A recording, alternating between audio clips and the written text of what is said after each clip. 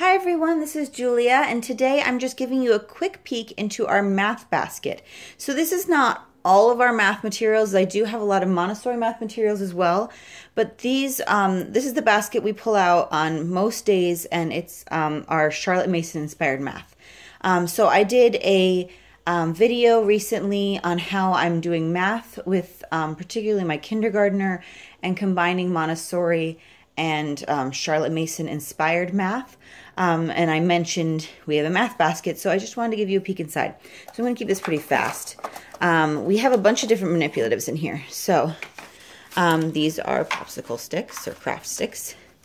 Um, they are not from Popsicles. I just bought them, the set, and we have them in 10 bundles. Um, these are what we use most often if we're um, when we're exchanging tens because they are easy to get in and out of their bundle.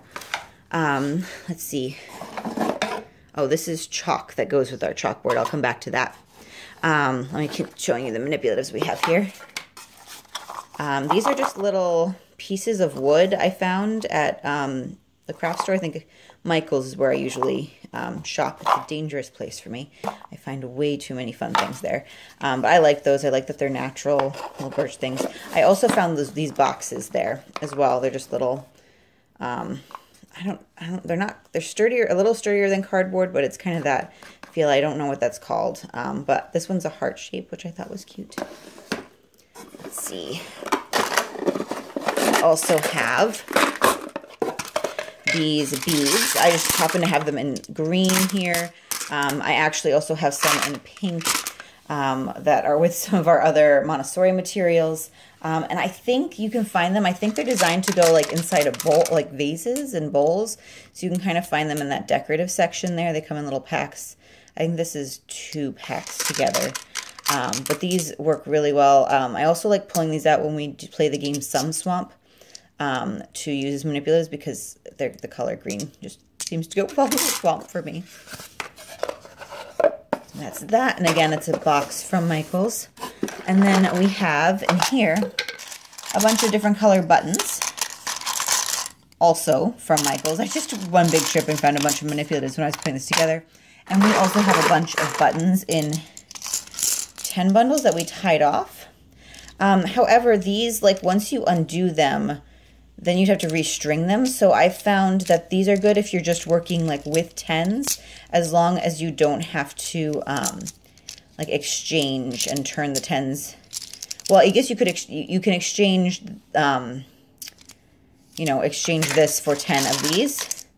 Um, but I find that I don't want to have to re-bundle a lot of them, so I don't tend to um, like cut these apart and put them back together.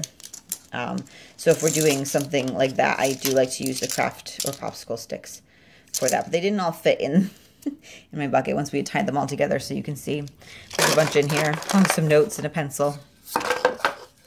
Um, for our other manipulatives, these are, it's a little bag that I made um, from some fabric I had. I have a lot of random fabric lying around because I like to buy it. Um, these are just dried beans. Um, so those come in helpful as well.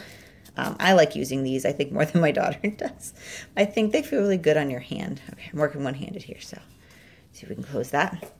Okay, these are probably my daughter's favorite manipulative to use. Whoa. Oh, and see, it's kind of a mess in here. I probably should have cleaned it before showing you, but hey, real life. Putting that one back. Okay.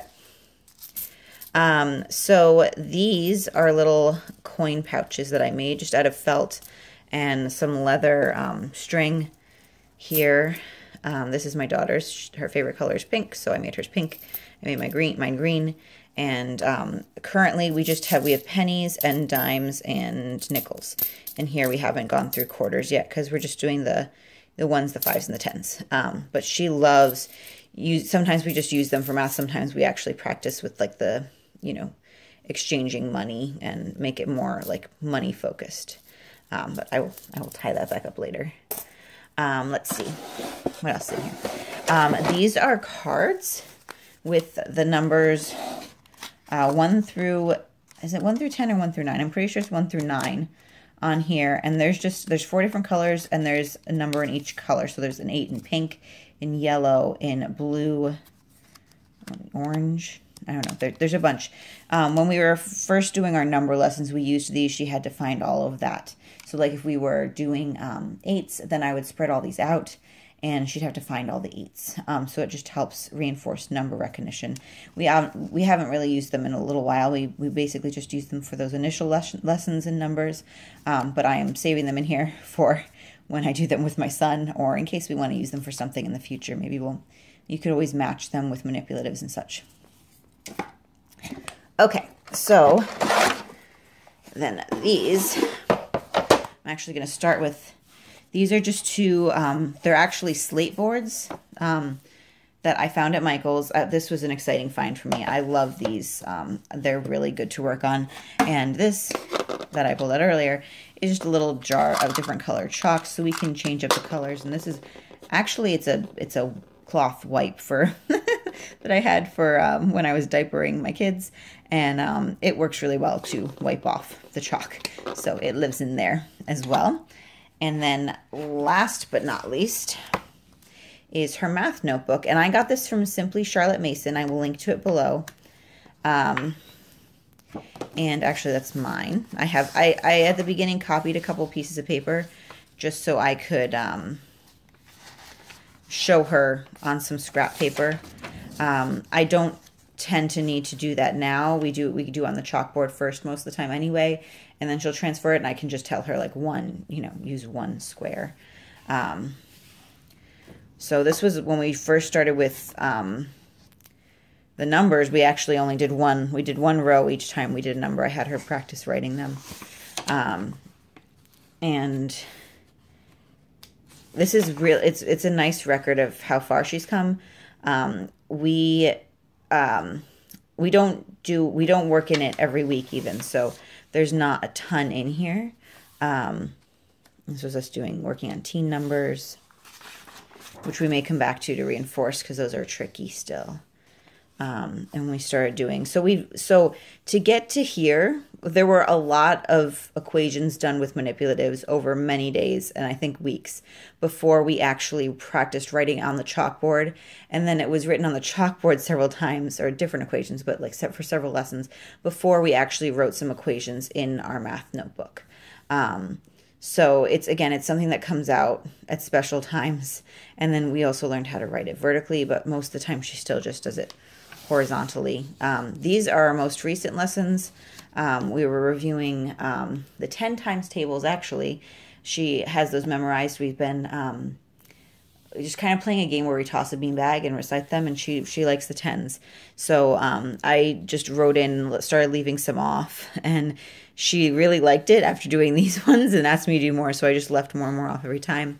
And then um, we played the game I see 10 um, which in which you find um, different numbers that add up to 10. And so just from playing that, she wanted to write down 5 plus 5 equals 10. And this is supposed to just be 1 here and a 0 here. Um, but we had to have a discussion after, after that, and I just left it. Um, and 7 plus 3 equals 10, and, um, and so on. Uh, she didn't have all of them memorized, but she was really excited about it. And so I was I was excited that she was excited to write it in her math notebook. So um, that's where we have left off at this point. Um, I just wanted to give you a peek. Um, so that is what is in our math basket.